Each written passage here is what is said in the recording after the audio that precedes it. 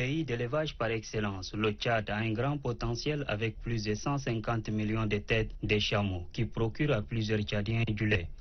Mais ce lait est consommé et vendu de manière traditionnelle. C'est pour moderniser l'exploitation du lait et mettre en valeur ces produits dérivés qu'une délégation hongroise conduite par le chargé des de l'ambassade de la Hongrie au Tchad, Laszlo Mate, est venue à la rencontre du ministre de l'élevage et des productions animales, professeur Abderrahim Awadatei. Dans l'attaché case du chef de la délégation, un projet d'envergure pour la création d'une ferme en vue de la production et de la transformation du lait de chamel.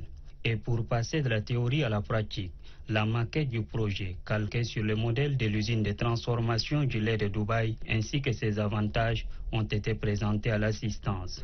Le ministre trouve en ce projet un tremplin de l'essor du secteur élevage.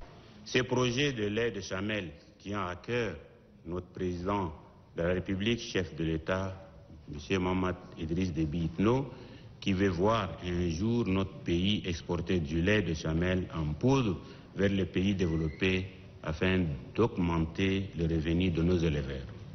Au cours de cette rencontre, l'excellence des relations de coopération qui lient le Tchad et la Hongrie ont été magnifiées par le chargé des affaires de l'ambassade de la Hongrie au Tchad et le ministre de l'élevage. Avec l'expérience du centre de transformation du lait de la Hongrie, datant de plus de 100 ans, le chameau ne sera plus un simple animal de voyage, mais une chaîne.